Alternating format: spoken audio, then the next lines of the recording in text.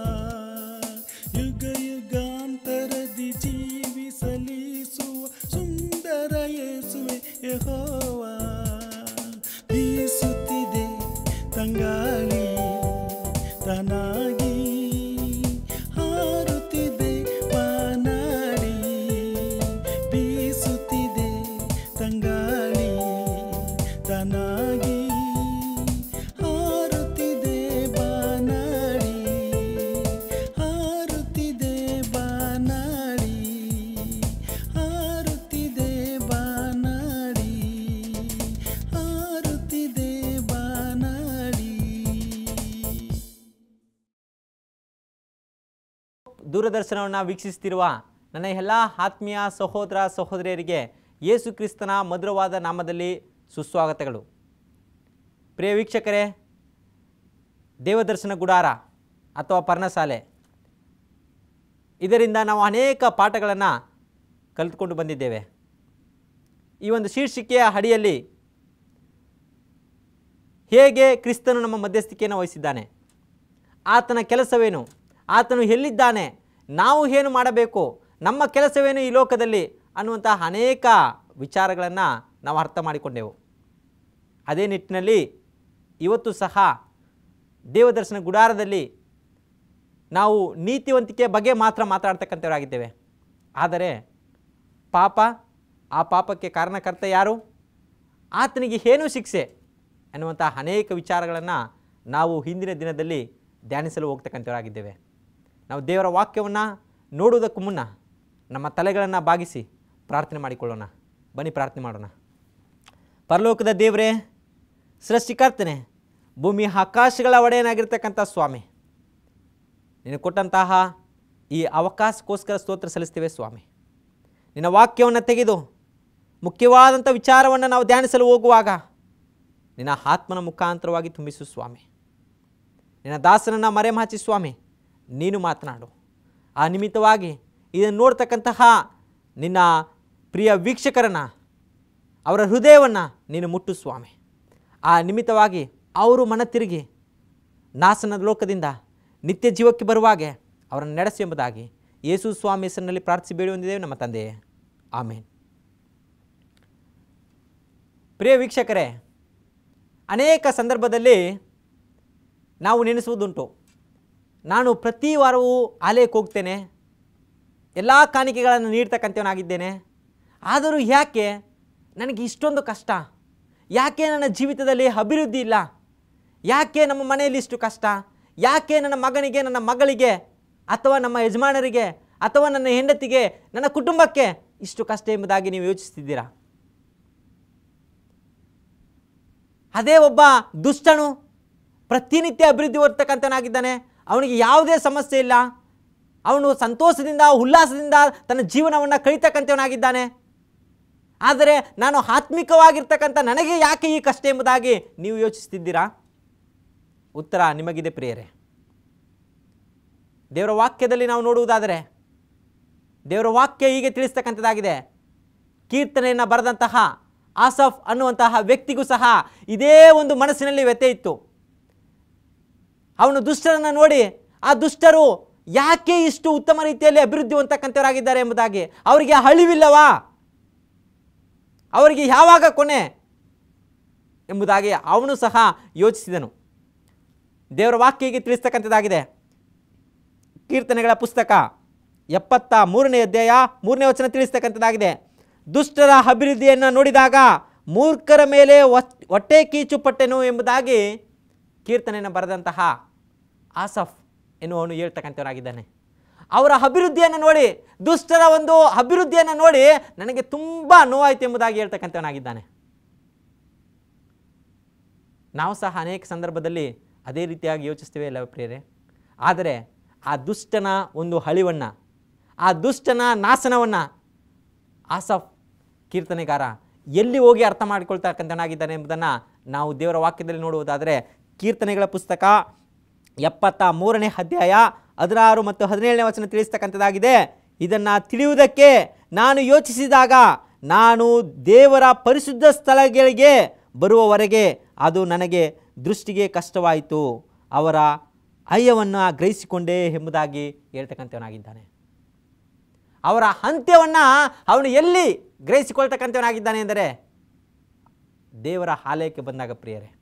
ಅವನು ಹೇಳ್ತಕ್ಕಂಥನಾಗಿದ್ದಾನೆ ದೇವರ ಆಲಯಕ್ಕೆ ಬರುವವರೆಗೂ ಅವರ ಅಂತ್ಯ ಯಾವಾಗ ಎಂಬುದಾಗಿ ನನಗೆ ಅರ್ಥವಾಗಲಿಲ್ಲ. ದೇವರ ಆಲಯಕ್ಕೆ ಬಂದಾಗ ಅವರ ಅಂತ್ಯ ಯಾವಾಗ ಎಂಬುದನ್ನು ಅರ್ಥ ಮಾಡಿಕೊಂಡೆ ಎಂಬುದಾಗಿ ಹೇಳ್ತಕ್ಕಂಥನಾಗಿದ್ದಾನೆ ಹಾಗಾದರೆ ದೇವದರ್ಶನ ಗುಡಾರ ಒಬ್ಬ ಪಾಪಿಯ ಬಗ್ಗೆ ಮಾತ್ರವಲ್ಲ, ಪಾಪಿಯ ಮನ ತಿರುಗುವಿಕೆ ಬಗ್ಗೆ ಮಾತ್ರವಲ್ಲ ಪಾಪವನ್ನು ಅಳಿಸುವುದರ ಬಗ್ಗೆಯೂ ಸಹ ತಿಳಿಸ್ತಕ್ಕಂಥದ್ದಾಗಿದೆ ಪ್ರಿಯರೇ. ಯಾಕೆಂದರೆ ಕೀರ್ತನೆಗಾರ ಸ್ಪಷ್ಟವಾಗಿ ಇಲ್ಲಿ ಬರೀತಕ್ಕಂಥವನಾಗಿದ್ದಾನೆ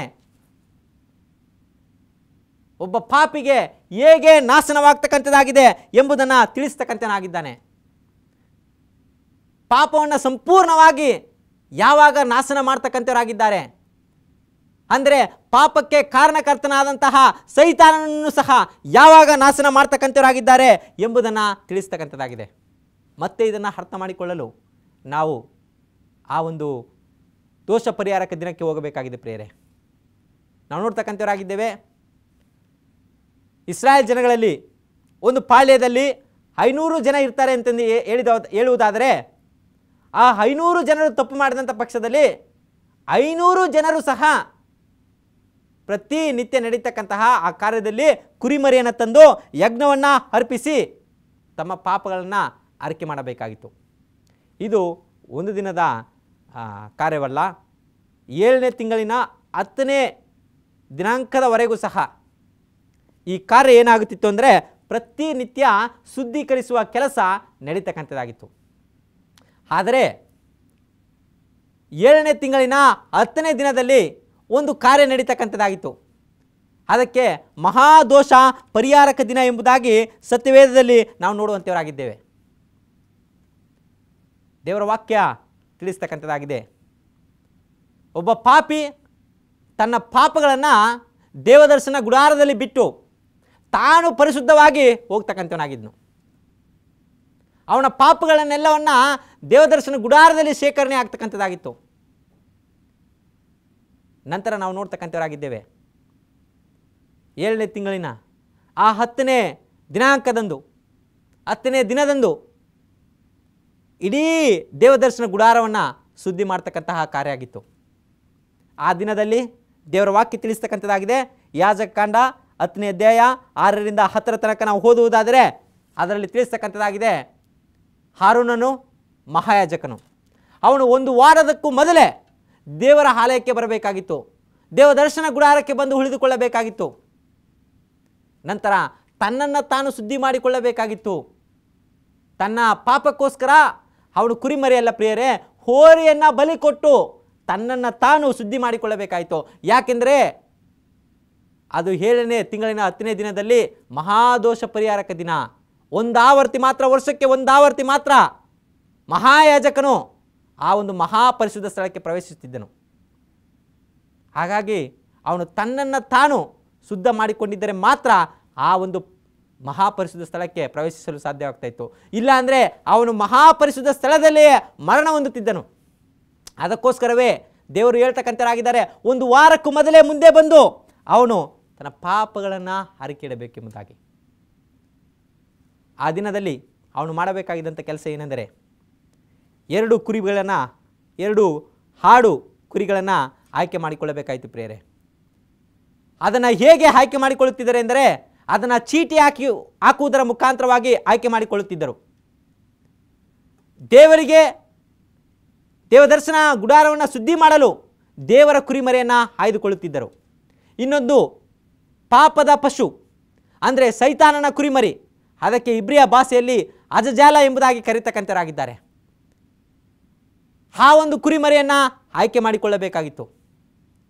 ಆ ದಿನ ಈ ಮಹಾಯಾಜಕನು ಎಲ್ಲದಕ್ಕೂ ಪ್ರಾಯಶ್ಚಿತ್ತ ಮಾಡಿ ದೇವರ ಕುರಿಮರಿಯನ್ನು ಆಯ್ಕೆ ಮಾಡಿಕೊಂಡು ಚೀಟಿನ ಮುಖಾಂತರವಾಗಿ ದೇವರ ಕುರಿಮರಿಯ ಮೇಲೆ ಕೈಗಳನ್ನು ಇಟ್ಟು ಆ ಕುರಿಮರಿಯನ್ನು ಒದಿಸಿ ಆ ರಕ್ತವನ್ನು ತೆಗೆದುಕೊಂಡು ಪರಿಶುದ್ಧ ಸ್ಥಳದ ಎಲ್ಲ ವಸ್ತುಗಳ ಮೇಲೆ ಚಿಮುಕಿಸುವುದರ ಮುಖಾಂತರವಾಗಿ ಮಹಾಪರಿಶುದ್ಧ ಸ್ಥಳದಲ್ಲಿ ಮಂಜೂಷದ ಪೆಟ್ಟಿಗೆಯ ಮೇಲೆಯೂ ಆ ಒಂದು ಕೃಪಾಶಾಸನದ ಮೇಲೆಯೂ ಆ ರಕ್ತವನ್ನು ಚಿಮುಕಿಸಬೇಕಾಯಿತು ಪ್ರಿಯರೇ.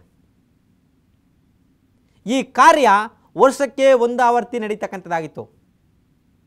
ನಂತರ ನಡೆದಂಥ ಘಟನೆ ಏನು? ನಂತರ ಈ ಒಂದು ಮಹಾಯಾಜಕನು ತನ್ನ ಕೆಲಸವನ್ನೆಲ್ಲ ಮುಗಿಸಿಬಿಟ್ಟು ಮತ್ತೆ ಹೊರಗಡೆ ಬಂದು ತನ್ನ ಎರಡೂ ಕೈಗಳನ್ನು ಹಜಜಾಲ ಅಂತಕ್ಕಂತಹ ಆ ಪಾಪದ ಪಶು ಆ ಪಾಪದ ಕುರಿ, ಅಂದರೆ ಸೈತಾನನ ಕುರಿಮರಿಯ ಮೇಲೆ ತನ್ನ ಕೈಗಳಿಟ್ಟು ಇಡೀ ಸಂಪೂರ್ಣವಾದಂತಹ ಏನು ದೇವದರ್ಶನ ಗುಡಾರದ ಒಳಗೆ ಇದ್ದಂಥ ಎಲ್ಲ ಪಾಪಗಳನ್ನೆಲ್ಲ ಪಾಪದ ಕಾರಣಕರ್ತನಾಗಿರ್ತಕ್ಕಂತಹ ಸೈತಾನನ ಆ ಕುರಿಯ ಹೋಲ್ತಕ್ಕಂತಹ ಆ ತಲೆ ಮೇಲೆ ಹಾಕಿ ಹಾಕ್ತಕ್ಕಂಥನಾಗಿದ್ದನು ಪ್ರೇರೆ ಅನಂತರ ಅವನು ಆ ಕುರಿಮರೆಯನ್ನು ಯಾಜಕರು ತೆಗೆದುಕೊಂಡು ಹೋಗಿ ಕಾಡಿಗೆ ಬಿಡುವಂತೆ ತಿಳಿಸ್ತಕ್ಕಂಥದ್ದಾಗಿತ್ತು. ಹೌದು ಪ್ರಿಯರೇ. ಇದರಿಂದ ನಾವು ಅರ್ಥ ಮಾಡಿಕೊಳ್ತಕ್ಕಂತಹ ವಿಚಾರವೇನೆಂದರೆ ದೇವರು ಸಹ ಈಗ ನಮ್ಮ ಮಹಾಯಾಜಕನಾಗಿ ಆ ಮಹಾಪರಿಶುದ್ಧ ಸ್ಥಳವನ್ನು ಪ್ರವೇಶಿಸುವಂಥವನಾಗಿದ್ದಾನೆ ನೋಡಿ ಪ್ರಿಯರೇ, ಮೊದಲು ಪಾಪ ಮಾಡಿದಂತಹ ವ್ಯಕ್ತಿ ಕುರಿಮರಿಯನ್ನು ಕತ್ತರಿಸಿ ಅದರ ರಕ್ತವನ್ನು ಯಾಜಕನ ಕೊಟ್ಟು ಯಾಜಕ ಅದನ್ನು ತೆಗೆದುಕೊಂಡು ಹೋಗಿ ಚಿಮುಕಿಸುತ್ತಿದ್ದನು. ಇದು ಪ್ರತಿನಿತ್ಯದ ಕಾರ್ಯ.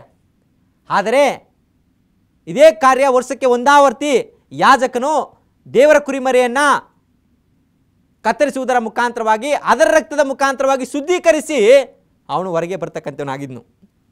ವರ್ಷದಲ್ಲಿ ಒಂದಾವರ್ತಿ ಮಾತ್ರ ಈ ಕಾರ್ಯ ನಡೀತಕ್ಕಂಥದ್ದಾಗಿತ್ತು. ಇವಾಗ ತನ್ನ ರಕ್ತದ ಮುಖಾಂತರವಾಗಿ ಯೇಸು ಸ್ವಾಮಿ ಎಲ್ಲಿ ಹೋಗಿದ್ದಾರೆ? ಮಹಾಪರಿಶುದ್ಧ ಸ್ಥಳಕ್ಕೆ ಹೋಗಿದ್ದಾರೆ ಪ್ರಿಯರೇ. ಮಧ್ಯಸ್ಥಿಕೆಯನ್ನು ವಹಿಸಿದ ವಹಿಸಿರ್ತಕ್ಕಂಥರಾಗಿದ್ದಾರೆ ಯೇಸು ಸ್ವಾಮಿ. ಆ ಕಾರ್ಯವನ್ನು ಮಾಡ್ತಕ್ಕಂಥರಾಗಿದ್ದಾರೆ ಯೇಸು ಸ್ವಾಮಿ ಈ ಲೋಕದಲ್ಲಿ ಮರಣ ಹೊಂದಿದಂತಹ ವಿಚಾರವನ್ನು ಸೈತಾನ ತುಂಬ ಸಂತೋಷದಿಂದ ಸಂಭ್ರಮಿಸಿದನು. ಆದರೆ ಯೇಸು ಸ್ವಾಮಿ ಮೂರನೇ ದಿನದಲ್ಲಿ ಮೃತ್ಯುಂಜಯನಾಗಿ ಎದ್ದಾಗ ಅವನ ಎಲ್ಲ ಯೋಚನೆಗಳು, ಆಲೋಚನೆಗಳು ಇವ ಕೊಲಾಪ್ಸ್ಡ್ ಸೈತಾನನು ಸಂಪೂರ್ಣವಾಗಿ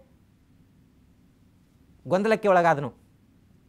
ಯೇಸು ಸ್ವಾಮಿ ಮರಣ ಹೊಂದಿದಾಗ, ಅಯ್ಯೋ, ನಾ ಎಲ್ಲವನ್ನ ಜಯಿಸಿದೆ ಎಂಬ- ಎಂಬುದಾಗಿ ಹೇಳಿದನು. ಆದರೆ ಯೇಸು ಸ್ವಾಮಿ ಮೂರನೇ ದಿನದಲ್ಲಿ ಮೃತ್ಯುಂಜಯನಾಗಿ ಇದ್ದಾಗ ಅವನು ಎಲ್ಲ ರೀತಿಯ ತನ್ನ ಕಾರ್ಯತಂತ್ರದಲ್ಲಿ ಸೋತು ಹೋದೆ ಎಂಬುದಾಗಿ ಹೇಳುವಂಥವನಾಗಿದ್ದಾನೆ ಯಾಕೆಂದರೆ ಯೇಸು ಸ್ವಾಮಿ ಈ ಲೋಕದಲ್ಲಿ ಮರಣ ಹೊಂದಿ ಮಹಾಪರಿಶುದ್ಧ ಸ್ಥಳಕ್ಕೆ ಆ ಒಂದು ಪರಿಶುದ್ಧ ಸ್ಥಳ, ಮಹಾಪರಿಶುದ್ಧ ಸ್ಥಳಕ್ಕೆ ಯಾಜಕನಾಗಿ ಹೋದ, ಹೋಗಿದ್ದಾನೆ ಎನ್ನುವಂತಹ ವಿಚಾರವನ್ನು ಸೈತಾನನು ಅರ್ಥ ಮಾಡಿಕೊಂಡು ಪ್ರೇರೆ ಅದಕ್ಕೋಸ್ಕರ ಅವನು ಹೇಳ್ತಕ್ಕಂಥವನಾಗಿದ್ದಾನೆ. ನೋಡಿ, ದೇವರ ವಾಕ್ಯ ಏನು ಹೇಳ್ತಕ್ಕಂಥದ್ದಾಗಿದೆ ಅಂತ? ಪ್ರಕಟಣೆ ಪುಸ್ತಕ ಹನ್ನೆರಡನೇ ಅಧ್ಯಾಯ ಹನ್ನೆರಡನೇ ವಚನದಲ್ಲಿ ಹೀಗೆ ತಿಳಿಸ್ತಕ್ಕಂಥದ್ದಾಗಿದೆ. ನಾನು ಓದ್ತಕ್ಕಂಥವನಾಗಿದ್ದಾನೆ ಪ್ರೇರೆ ಆದುದರಿಂದ ಪರಲೋಕಗಳೇ, ಅದರಲ್ಲಿ ವಾಸ ಮಾಡುವವರೇ ಹರ್ಷಗೊಳ್ಳಿರಿ ಭೂಮಿಯ ಮೇಲೆ ಮತ್ತು ಸಮುದ್ರದಲ್ಲಿ ಇರುವವರೇ, ಅಯ್ಯೋ ಯಾಕೆಂದರೆ ಸೈತಾನನು ತನಗಿರುವ ಕಾಲವು ಸ್ವಲ್ಪವೆಂದು ತಿಳಿದು ಮಹಾರೌದ್ರವುಳ್ಳವನಾಗಿ ನಿಮ್ಮ ಕಡೆಗೆ ಹಿಡಿದು ಬಂದಿದ್ದಾನೆ ಎಂಬುದಾಗಿ ಹೇಳಿತು. ಹೌದು ಪ್ರಿಯ ವೀಕ್ಷಕರೇ, ಈ ವಾಕ್ಯ ಏನು ತಿಳಿಸ್ತಕ್ಕಂಥದ್ದಾಗಿದೆ? ಸೈತಾನ ನಮ್ಮ ಕಡೆಗೆ ಇಳಿದು ಬಂದಿದ್ದಾನಂತೆ. ಭೂಲೋಕದಲ್ಲಿ ತನ್ನ ಕಾರ್ಯವನ್ನು ಮಾಡ್ತಕ್ಕಂಥನಾಗಿದ್ದಾನೆ ಯಾಕೆಂದರೆ ಅವನು ದೇವದರ್ಶನ ಗುಡಾರದ ಸತ್ಯವನ್ನು ಅರ್ಥ ಮಾಡಿಕೊಂಡಿದ್ದಾನೆ. ಯೇಸು ಸ್ವಾಮಿ ಈ ಲೋಕದಲ್ಲಿ ಹಂಗಲವೆಂತಕ್ಕಂತಹ ಆ ಕಾರ್ಯವನ್ನು ಮುಗಿಸಿ ಈಗ ಪರಿಶುದ್ಧ ಸ್ಥಳದಲ್ಲಿ ಯಾಜಕನಾಗಿದ್ದಾನೆ, ಮಹಾಪರಿಶುದ್ಧ ಸ್ಥಳಕ್ಕೆ ಹೋಗಿದ್ದಾನೆ. ಈಗ ಒಂದೇ ಒಂದು ಅಂತ ಮಾತ್ರ ಬಾಕಿ ಇದೆ. ಆತನು ಹೊರಗಡೆ ಬರಬೇಕು, ನನ್ನನ್ನು ನಸುಕಬೇಕು ಎಂಬುದಂತಹ ಕಾರ್ಯ ಮಾತ್ರ ಬಾಕಿ ಇದೆ ಪ್ರಿಯರೇ. ಅದನ್ನೇ ಹಾದಿಕಾಂಡ ಮೂರನೇ ಅಧ್ಯಾಯ ಹದಿನೈದನೇ ವಚನದಲ್ಲಿ ಪ್ರವಾದನೆಯನ್ನು ನುಡಿದಂಥದ್ದು. ಆಕೆಯ ಸಂತತಿ, ಕ್ರಿಸ್ತನು ಬಂದು ಆತನ ತಲೆಯನ್ನು ಜಸ್ತಕ್ಕಂತಹ ಕಾಲ ಬಂದಿದೆ ಎಂಬುದಾಗಿ ಅವನು ಹೊರತುಕೊಂಡಿದ್ದಾನೆ ಪ್ರಿಯರೇ. ಅದಕ್ಕೋಸ್ಕರವೇ ಸೈತಾನ ಹೇಳ್ತಕ್ಕಂಥನಾಗಿದ್ದಾನೆ, ದೇವರ ವಾಕ್ಯ ತಿಳಿಸ್ತಕ್ಕಂಥದ್ದಾಗಿದೆ ತನಗಿರುವುದು ಸ್ವಲ್ಪ ಕಾಲ. ಸೈತಾನ ಅರ್ಥ ಮಾಡ್ಕೊಂಡಿದ್ದಾನೆ ಪ್ರೇರೆ ನಾವು ಹೇಳ್ತಕ್ಕಂಥ ಓ, ಇನ್ನೂ ದಿನಗಳಿದೆ ಎಂಬುದಾಗಿ ನಾವು ಅನೇಕ ಸಂದರ್ಭದಲ್ಲಿ ನಮ್ಮ ಪಾಪಗಳನ್ನ ಹರಕೆ ಮಾಡದೆ ಈ ಲೋಕದಲ್ಲಿ ನಾವು ಹೇಗೆ ಬೇಕು ಹಾಗೆ ಜೀವಿಸ್ತಕ್ಕಂಥವರಾಗಿದ್ದೇವೆ. ಆದರೆ ದೇವರ ವಾಕ್ಯ ಈ ರೀತಿಯಾಗಿ ತಿಳಿಸ್ತಕ್ಕಂಥದ್ದಾಗಿದೆ ಪ್ರಿಯರೇ, ಸೈತಾನನಿಗೆ ಗೊತ್ತು, ತನಗೆ ಕೊಟ್ಟಿರ್ತಕ್ಕಂಥದ್ದು ಸ್ವಲ್ಪ ಕಾಲ ಎಂಬುದಾಗಿ. ಅದಕ್ಕೋಸ್ಕರ ತನ್ನ ನಾಶನ ಇದೆ ಎಂಬುದಾಗಿ ಅವನಿಗೆ ಗೊತ್ತು. ಹೇಗೆ?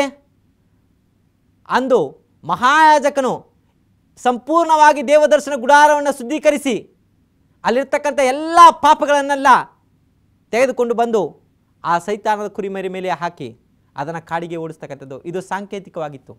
ಇದು ಕೊನೆಯ ಕಾಲದ ಘಟನೆಯನ್ನು ಸೂಚಿಸ್ತಕ್ಕಂಥದ್ದಾಯಿತು. ಈಗ ಯೇಸು ಸ್ವಾಮಿ ನಮ್ಮ ಎಲ್ಲ ಪಾಪಗಳನ್ನು ಹೊತ್ತುಕೊಳ್ತಕ್ಕಂಥವರಾಗಿದ್ದಾರೆ ಕಲ್ವಾರಿ ಸಿಲುಬೆಯಲ್ಲಿ ಹೊತ್ತುಕೊಂಡಂತೆ ಆದರೆ ಯೇಸು ಸ್ವಾಮಿ ಆ ಮಹಾಯಾಜಕ ಹುದ್ದೆಯನ್ನು ಮುಗಿಸಿ ಹೊರಗಡೆ ಬಂದು ಎಲ್ಲ ಪಾಪಗಳನ್ನೆಲ್ಲ ಪಾಪಕ್ಕೆ ಕಾರಣಕರ್ತನಾದಂತಹ ಸೈತಾನದ ಮೇಲೆ ಹಾಕಿ ಸೈತಾನನನ್ನು ಪಾಪಿಗಳನ್ನು ಪಾಪವನ್ನು ನಾಶ ಮಾಡ್ತಕ್ಕಂಥವನಾಗಿದ್ದಾನೆ ಪ್ರಿಯರೇ. ಬೆಂಕಿಯಿಂದ ನಾಶ ಮಾಡ್ತಕ್ಕಂಥನಾಗಿದ್ದಾನೆ ಅದಕ್ಕೋಸ್ಕರನೇ ದೇವರ ವಾಕ್ಯ ತಿಳಿಸ್ತಕ್ಕಂಥದ್ದಾಗಿದೆ. ಏನೆಂದರೆ ಆ ಒಂದು ನರಕ, ನರಕದ ಬೆಂಕಿ ಯಾರಿಗೋಸ್ಕರ ಇಡಲ್ಪಟ್ಟಿದೆ? ಸೈತಾನನಿಗೂ, ಆತನ ದೂತರಿಗೂ ಎಂಬುದಾಗಿ ದೇವರ ವಾಕ್ಯ ತಿಳಿಸ್ತಕ್ಕಂಥದ್ದಾಗಿದೆ. ಮನುಷ್ಯರಿಗೆಲ್ಲ ಪ್ರಿಯರೇ ನರಕ. ಮನುಷ್ಯರಿಗೆಲ್ಲ ಬೆಂಕಿ ಇಟ್ಟಿರ್ತಕ್ಕಂಥದ್ದು. ಸೈತಾನನಿಗೂ, ಆತನ ದೂತರಿಗೂ. ಆದರೆ ಸೈತಾನನನ್ನು ನಾವು ಹಿಂಬಾಲಿಸುವುದರಿಂದ ನಾವು ಆ ನರಕಕ್ಕೆ ಬೀಳುವಂಥವರಾಗಿದ್ದೇವೆ ಪ್ರಿಯರೇ. ಯೋಚಿಸಿರಿ, ನೀವು ಯಾರನ್ನು ಹಿಂಬಾಲಿಸ್ತಕ್ಕಂಥವರಾಗಿದ್ದೀರಾ? ದೇವರ ಕುರಿಮರಿಯನ್ನ ಅಥವಾ ಪಾಪದ ಪಶು, ಅಜಜಾಲ ಅಂತಕ್ಕಂತಹ ಆ ಒಂದು ಸೈತಾನನ ಕುರಿಮರಿಯ ಹಿಂದೆ ಇದ್ದೇವಾ? ಯಾರ ಹಿಂದೆ ನಾವು ಹೋಗ್ತಕ್ಕಂಥವರಾಗಿದ್ದೇವೆ? ಯಾಕೆಂದರೆ ಸೈತಾನನು ತನಗಿರುವುದು ಸ್ವಲ್ಪ ಕಾಲ ಎಂಬುದಾಗಿ ತಿಳಿದು ಮಹಾರೌದ್ರವನಾಗಿ ನಮ್ಮ ಕಡೆಗೆ ಇಳಿದು ಬಂದಿದ್ದಾನೆ ಪ್ರಿಯರೇ. ಯಾಕೆ ಸೈತಾನ ಇವತ್ತು ದೇವದರ್ಶನ ಗುಡಾರದ ಬಗ್ಗೆ ಅರ್ಥ ಮಾಡಿಕೊಳ್ಳಲು ಬಿಡುತ್ತಿಲ್ಲ? ಯಾಕೆಂದರೆ ತಾನು ಚೆನ್ನಾಗಿ ಆ ದೇವದರ್ಶನ ಗುಡಾರದ ಸತ್ಯವನ್ನು ಅರ್ಥ ಮಾಡ್ಕೊಂಡಿದ್ದಾನೆ ಪ್ರಿಯರೇ. ಅದಕ್ಕೋಸ್ಕರ ನಾನು ಹೇಳ್ತಕ್ಕಂಥನಾಗಿದ್ದಾನೆ, ನನಗೆ ಕೊಟ್ಟಿರ್ತಕ್ಕಂಥ ಸ್ವಲ್ಪ ಕಾಲ ಎಂಬುದಾಗಿ. ಒಂದು ವೇಳೆ ನಾವು ಅರ್ಥ ಮಾಡಿಕೊಂಡ್ರೆ ನಾವು ಅರ್ಥಕೊಳ್ತಕ್ಕಂಥವರಾಗಿದ್ದೇವೆ ಅಯ್ಯೋ, ಕ್ರಿಸ್ತನ ಸೇವೆ ಮುಗಿತಕ್ಕಂಥದ್ದಾಗಿದೆ, ನಾನು ಹೇಗೆ ಸಿದ್ಧನಾಗಬೇಕು ಎನ್ನುವಂತಹ ಎಲ್ಲ ವಿಚಾರಗಳನ್ನು ನಾವು ದೇವದರ್ಶಕ ಗುಡಾರನ ಓದಿ ಅರ್ಥ ಮಾಡ್ಕೊಳ್ತಕ್ಕಂಥವರಾಗಿದ್ದೇವೆ. ಅದಕ್ಕೋಸ್ಕರವೇ ಸೈತಾನ ಇವತ್ತು ಅನೇಕ ಸಭೆಗಳನ್ನು, ಅನೇಕ ಜನಗಳನ್ನು ಈ ದೇವದರ್ಶನ ಗುಡಾರದ ಬಗ್ಗೆ ಓದಲು ಬಿಡುತ್ತಿಲ್ಲ. ಒಂದು ವೇಳೆ ಇದನ್ನು, ಇದರ ವಿಚಾರಗಳನ್ನು ಹರ್ತಿಕೊಂಡಂತೆ ಆದಂಥ ಪಕ್ಷದಲ್ಲಿ ಪ್ರತಿಯೊಬ್ಬ ವ್ಯಕ್ತಿಯೂ ಸಹ ತಾನು ಹೇಗೆ ಪರಿಶುದ್ಧನಾಗಿ ಜೀವಿಸಬೇಕು? ಕ್ರಿಸ್ತನು ಎಲ್ಲಿದ್ದಾನೆ ಈಗ? ಆತನ ಕೆಲಸವೇನು? ನನ್ನ ಕೆಲಸವೇನು? ನಾನಿರ್ತಕ್ಕಂಥದ್ದು ಮಹಾದೋಷ ಪರಿಹಾರಕ ದಿನದಲ್ಲಿ ನಾನು ನನ್ನ ಹೃದಯಗಳನ್ನು, ನನ್ನ ಆತ್ಮಗಳನ್ನು ಕುಂದಿಸಿಕೊಳ್ಳಬೇಕು ಅನ್ನುವಂತಹ ಆ ಒಂದು ಯೋಚನೆ ನಮಗೆ ಬರ್ತಕ್ಕಂಥದ್ದಾಗಿದೆ ಪ್ರಿಯರೇ. ಪಾಪವನ್ನು ಜಯಿಸಬೇಕು, ಕ್ರಿಸ್ತನಲ್ಲಿ ನೆಲೆಗೊಳ್ಳಬೇಕು ಅನ್ನುವಂತಹ ಆ ಒಂದು ಯೋಚನೆ ನಮಗೆ ಬರ್ತಕ್ಕಂಥದ್ದಾಗಿದೆ ಪ್ರಿಯರೇ. ಆದರೆ ಇವತ್ತು ಕ್ರೈಸ್ತರು ಕೃಪೆಗಿದೆ, ನಾವು ಹೇಗೆ ಬೇಕಾದರೂ ಜೀವಿಸಬೇಕು ಎಂಬುದಾಗಿ ಯಾಕೆ ಹೇಳ್ತಕ್ಕಂಥವರಾಗಿದ್ದಾರೆ ಅಂದರೆ ಒಂದೇ ಒಂದು ವಿಚಾರದಿಂದ ಪ್ರಿಯರೇ. ಯಾಕೆಂದರೆ ಅವರು ಈ ದೇವದರ್ಶನ ಗುಡಾರದ ಸತ್ಯವನ್ನು ಅರ್ಥ ಮಾಡ್ಕೊಂಡಿಲ್ಲ. ಸೈತಾನ ಅವರನ್ನು ಗೊಂದಲಕ್ಕೆ ಒಳಪಡಿಸಿದ್ದಾನೆ. ಪರಲೋಕ ರಾಜ್ಯದ ಬಗ್ಗೆ ಅವರು ಅರ್ಥಕೊಂಡಿಲ್ಲ ನ್ಯಾಯ ವಿಚಾರಣೆ ಬಗ್ಗೆ ಗೊತ್ತಿಲ್ಲ ಪ್ರಿಯರೇ ಅವರಿಗೆ. ಈಗ ನಡೀತಕ್ಕಂತಹ ನ್ಯಾಯ ವಿಚಾರದ ಬಗ್ಗೆ ಅವರಿಗೆ ಅರಿವಿಲ್ಲ. ಹಾಗಾಗಿ ಅವರನ್ನ ಗೊಂದಲಕ್ಕೆ ಒಳಗಾಗಿ ಒಳಪಡಿಸಿದ್ದಾನೆ. ಆದರೆ ಈ ಕಾರ್ಯವನ್ನು ಹೇಳ್ತಕ್ಕಂಥ ಕೆಲಸವನ್ನು ದೇವರು ನಮಗೆ ಕೊಟ್ಟಿದ್ದಾನೆ ಪ್ರಿಯರೇ. ಸಾವಿರದ ಎಂಟುನೂರ ನಲವತ್ತ್ನಾಲ್ಕರಲ್ಲಿ ದೇವರು ಆ ಒಂದು ಮಹಾಪರಿಶುದ್ಧ ಸ್ಥಳಕ್ಕೆ ಪ್ರವೇಶಿಸುವಾಗ ಸತ್ಯವಾಕ್ಯ ತಿಳಿಸ್ತಕ್ಕಂಥದ್ದಾಗಿದೆ. ಪ್ರಕಟಣೆ ಪುಸ್ತಕ ಹತ್ತನೇ ಅಧ್ಯಾಯ ಆರನೇ ವಚನ ತಿಳಿಸ್ತಕ್ಕಂಥದ್ದಾಗಿದೆ. ಇನ್ನು ಸಮಯ ಅವಕಾಶವಿಲ್ಲ ಎಂಬುದಾಗಿ ಹೇಳ್ತಕ್ಕಂಥದ್ದಾಗಿದೆ. ಟೈಮ್ ಈಸ್ ನೋ ಲಾಂಗರ್ ದೇವರ ವಾಕ್ಯ ತಿಳಿಸ್ತಕ್ಕಂಥದ್ದಾಗಿದೆ. ಇನ್ನು ಸಮಯ ಅವಕಾಶವಿಲ್ಲ ಎಂಬುದಾಗಿ. ಮುಗಿತಕ್ಕಂಥದ್ದಾಗಿದೆ ಎಂಬುದಾಗಿ ಹೇಳ್ತಕ್ಕಂಥವರಾಗಿದ್ದಾರೆ. ದೇವರು ನಮಗೆ ಮಧ್ಯಸ್ಥಿಕೆಯನ್ನು ವಹಿಸಿದ್ದಾನೆ ಪ್ರಿಯರೇ. ದೇವರು ಹೇಗೆ ನಮಗೋಸ್ಕರ ಪರಲೋಕದಲ್ಲಿ ಬೇಡಿಕೊಳ್ಳುವವನಾಗಿದ್ದಾನೆ ಎಂಬುದಕ್ಕೆ ದೇ ಸತ್ಯವಾಕ್ಯದಲ್ಲಿ ಅನೇಕ ನಿದರ್ಶನಗಳಿವೆ ಪ್ರಿಯರೇ. ನಾವು ನೋಡ್ತಕ್ಕಂಥವರಾಗಿದ್ದೇವೆ. ಸೋದೋಮ್ ಗೋಮುರ ಪಟ್ಟಣವನ್ನು ಅಳಿಸಲು ಹೋಗುವಾಗ ಅಬ್ರಹಾಮನು ದೇವರ ಎದುರಿಗೆ ಬಂದು ಬೇಡುವಂಥವನಾಗಿದ್ದಾನೆ ಐವತ್ತು ನೀತಿವಂತರಿದ್ದರೆ ಆ ಒಂದು ಪಟ್ಟಣವನ್ನು ನೀವು ನಾಶ ಮಾಡ್ತೀರಾ ಎಂಬುದಾಗಿ. ಅವನು ಹೇಳ್ತಕ್ಕಂಥನಾಗಿದ್ದಾನೆ ನಾನು ಬೂದಿಯು ಮಣ್ಣು, ಧೂಳಾಗಿದ್ದೇನೆ ಸ್ವಾಮಿ, ಮತ್ತೊಂದು ಆವರ್ತಿ. ನಿಮ್ಮಲ್ಲಿ ಕೇಳ್ತಕ್ಕಂಥವನಾಗಿದ್ದೇನೆ, ನಿಮ್ಮಲ್ಲಿ ಬೇಡ್ಕೊಳ್ತಕ್ಕಂಥವನಾಗಿದ್ದೇನೆ, ನಲವತ್ತೈದು ಜನ, ನಲವತ್ತು ಜನ, ಮೂವತ್ತು ಜನ, ಹತ್ತು ಜನ ಇದ್ದರೆ ಆ ಪಟ್ಟಣವನ್ನು ನಾಶನ ಮಾಡ್ತೀರಾ ಎಂಬುದಾಗಿ ಬೇಡಿಕೊಳ್ತಕ್ಕಂಥವನಾಗಿದ್ದಾನೆ. ಈ ರೀತಿಯಾಗಿ ದೇವರು ನಮ್ಮಗೋಸ್ಕರ ಪರಲೋಕದಲ್ಲಿ ಬೇಡುವಂಥವನಾಗಿದ್ದಾನೆ ಪ್ರಿಯರೇ. ಅದೇ ರೀತಿಯಾಗಿ ನಾವು ನೋಡ್ತಕ್ಕಂಥವರಾಗಿದ್ದೇವೆ. ಮೋಸೆಯು ಸಹ ಬೇಡಿಕೊಂಡನು. ತನ್ನ ಮಕ್ಕಳಿಗೋಸ್ಕರ, ಸ್ವಾಮಿ, ಅವರ ಪಾಪಗಳನ್ನು ಅಳಿಸಿ ಹಾಕು. ಇಲ್ಲದರೆ ನನ್ನ ಹೆಸರನ್ನು ಜೀವದಾರ ಪಟ್ಟಿಯಿಂದ ತೆಗೆದುಹಾಕು ಎಂಬುದಾಗಿ. ನಾನು ಹೋಗದ ನನ್ನ ಜನಗಳು ಹೋಗದ ಆ ಸ್ಥಳಕ್ಕೆ ನಾನು ಸಹ ಬರುವುದಿಲ್ಲ ಎಂಬುದಾಗಿ ಹೇಳುವಂಥವನಾಗಿದ್ದಾನೆ ಆ ರೀತಿಯಾಗಿ ಪರಲೋಕದಲ್ಲಿ ದೇವರು ನನ್ನ ಜನಗಳು ಬರದಂತಹ ರಾಜ್ಯ ನನಗೆ ಬೇಡ ಎಂಬುದಾಗಿ ದೇವರು ಹೇಳುವಂಥವರಾಗಿದ್ದಾರೆ ಕ್ರಿಸ್ತನು ಎಲ್ಲವನ್ನು ನಮಗೋಸ್ಕರ ತ್ಯಾಗ ಮಾಡಿದ್ದಾನೆ ಪ್ರಿಯರೇ. ಕೊನೆಯಲ್ಲಾಗಿ ಯೇಸು ಸ್ವಾಮಿ ಹೇಳ್ತಕ್ಕಂಥವರಾಗಿದ್ದಾರೆ. ಈ ಜನಗಳು ಏನು ತಪ್ಪು ಮಾಡ್ತಾರೆ ಅವರು ಹರಿಯದೆ ಮಾಡ್ತಕ್ಕಂಥವರಾಗಿದ್ದಾರೆ ಅವರನ್ನು ಸಮಿಸಿ ಎಂಬುದಾಗಿ. ಎಂತಹ ಒಬ್ಬ ವಕೀಲನನ್ನು ನಾವು ಪಡೆದುಕೊಂಡಿದ್ದೇವೆ ಪ್ರಿಯರೇ. ಎಂಥ ಮಹೋ ಉನ್ನತನಾದಂಥ ಮಧ್ಯಸ್ಥಿಕೆಯನ್ನು ವಹಿಸಿರ್ತಕ್ಕಂಥ ಮಹಾಯಾಜಕನು ನಮಗಿದ್ದಾನೆ ಪ್ರಿಯರೇ. ಈ ರೀತಿಯಾಗಿ ದೇವರು ಬೇಡುವಾಗ ನಮ್ಮ ಕರ್ತವ್ಯ ಏನಿದೆ ಪ್ರಿಯರೇ? ನಾವು ಯಾರನ್ನು ಹಿಂಬಾಲಿಸ್ತಕ್ಕಂಥವರಾಗಿದ್ದೇವೆ? ದೇವರನ್ನ, ಆ ಕುರಿಮರಿ, ದೇವರ ಕುರಿಮರಿ ಅಂತಕ್ಕಂತಹ ಯೇಸು ಸ್ವಾಮಿಯನ್ನ, ಅಜ ಜಾಲ ಅಂತಕ್ಕಂಥ ಸೈತಾನನ ಕುರಿಮರಿಯನ್ನ ಯಾವುದನ್ನು ಹಿಂಬಾಲಿಸ್ತಕ್ಕಂಥವರಾಗಿದ್ದೇವೆ? ದೇವರು ನಮ್ಮನ್ನು ಹೇಗೆ ಕಾಪಾಡ್ತಕ್ಕಂಥವನಾಗಿದ್ದಾನೆ ಎಂಬುದನ್ನು ಸಹ ದೇವರ ವಾಕ್ಯ ತಿಳಿಸ್ತಕ್ಕಂಥದ್ದಾಗಿದೆ. ನಾವು ದೇವರ ಕುರಿಮರಿಯನ್ನು, ಯೇಸು ಸ್ವಾಮಿಯನ್ನು ಹಿಂಬಾಲಿಸುವುದಾದರೆ ದೇವರ ವಾಕ್ಯ ಹೀಗೆ ತಿಳಿಸ್ತಕ್ಕಂಥದ್ದಾಗಿದೆ. ಕೀರ್ತನೆ ಪುಸ್ತಕ ಇಪ್ಪತ್ತೇಳನೇ ಅಧ್ಯಾಯ ಐದನೇ ವಚನ ತಿಳಿಸ್ತಕ್ಕಂಥದ್ದಾಗಿದೆ. ಕೇಳಿನ ಸಮಯದಲ್ಲಿ ಆತನು ತನ್ನ ಗುಡಾರದಲ್ಲಿ ಬಚ್ಚಿಡುವನು ಎಂಬುದಾಗಿ ಪ್ರಿಯರೇ, ಎಂತಹ ಅದ್ಭುತವಾದಂಥ ವಾಕ್ಯ ಪ್ರಿಯರೇ. ಸತ್ಯವಾಕ್ಯ ತಿಳಿಸ್ತಕ್ಕಂಥದ್ದಾಗಿದೆ. ದಾನಿಲ ಪುಸ್ತಕ ಹನ್ನೆರಡನೇ ದೇಹ ಒಂದನೇ ವಚನ ತಿಳಿಸ್ತಕ್ಕಂಥದ್ದಾಗಿದೆ. ಆ ಒಂದು ಮಹಾ ಕಷ್ಟ ಕಾಲದ ಸಮಯದಲ್ಲಿ ಮಿಕ್ಕಾಯನ್ನು ಹೇಳುವನು ಎಂಬುದಾಗಿ ಪ್ರಿಯರೇ, ನಮ್ಮ ಹೆಸರು ಜೀವದಾರ ಪಟ್ಟಿಯಲ್ಲಿ ಬರೆಯಲ್ಪಟ್ಟಿದೆ, ಆದಂಥ ಪಕ್ಷದಲ್ಲಿ ಪರಲೋಕದಲ್ಲಿರ್ತಕ್ಕಂತಹ ಆ ಗುಡಾರದಲ್ಲಿ ಇಡಲ್ಪಟ್ಟಿರ್ತಕ್ಕಂಥ ಆ ಜೀವದಾರ ಪಟ್ಟಿಯಲ್ಲಿ ಬರೆದಿದ್ದೇ ಆದಂಥ ಪಕ್ಷದಲ್ಲಿ ಆ ಕಷ್ಟ ಕಾಲದಿಂದ ದೇವರು ನಮ್ಮನ್ನು ಕಾಪಾಡ್ತಕ್ಕಂಥವನಾಗಿದ್ದಾನೆ.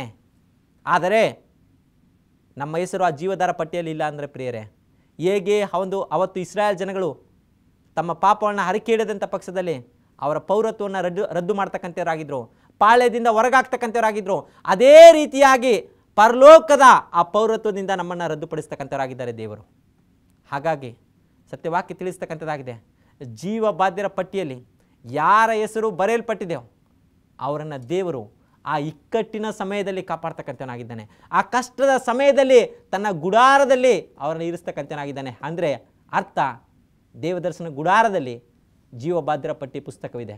ಆ ಪುಸ್ತಕದಲ್ಲಿ ಈಗ ನ್ಯಾಯ ವಿಚಾರಣೆ ನಡೀತಕ್ಕಂಥದ್ದಾಗಿದೆ. ನಾವು ನೀತಿವಂತರೆಂಬುದಾಗಿ ನಿರ್ಧಾರ ಆದರೆ ನಮ್ಮ ಹೆಸರನ್ನು ಅಲ್ಲಿ ಬರೆಯಲಾಗ್ತಕ್ಕಂಥದ್ದಾಗಿದೆ. ಆ ಸಂದರ್ಭದಲ್ಲಿ ಕೊನೆಯ ಕಾಲದಲ್ಲಿ ಹಿಂಸೆ ಬರುವಾಗ ದೇವರು ನಮ್ಮನ್ನು ಕಾಪಾಡ್ತಕ್ಕಂಥವನಾಗಿದ್ದಾನೆ.